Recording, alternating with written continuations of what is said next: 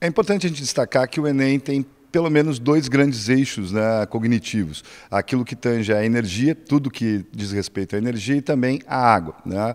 No caso da energia, é importante destacar a Petrobras, que é uma empresa brasileira, uma das maiores empresas do mundo de combustíveis, e os processos que ela faz para separar esses combustíveis no estado gasoso e também no estado líquido. É o caso, por exemplo, do GNV, gás natural veicular, uma mistura de metano mais etano, do GLP, gás liquefeito de petróleo, né, que é uma mistura de propano mais butano, e também a própria gasolina, que é uma mistura de N-heptano e isoctano.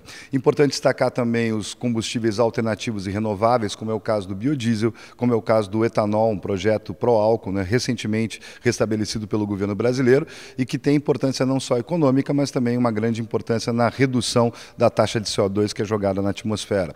Uh, energias né, que são matrizes alternativas energéticas, como a energia eólica, como, por exemplo, a energia hidrelétrica, como a energia nuclear, são também bastante vistas. Nós temos né, uma usina nuclear em Angra, que tem três reatores que trabalham né, literalmente produzindo energia a partir de energia nuclear. É considerada uma energia limpa. Né? Uh, e a água, tudo que envolve água. Nós temos um dos países com maior recurso uh, hidrelétrico do mundo. Né? Os recursos hidros são bastante viáveis aqui, não só para transporte, mas também para produção de energia elétrica. E atentar principalmente na questão da biologia relacionada à química, na bioquímica, doenças que são relacionadas, por exemplo, à água, né? coisas que podem aparecer no Enem, como, por exemplo, mosquito da dengue, né? relacionado à água estanque, a parte de tratamento da água, principalmente, né? a cloração da água, a filtração, processo de decantação, flotação, que caiu bastante nos últimos anos.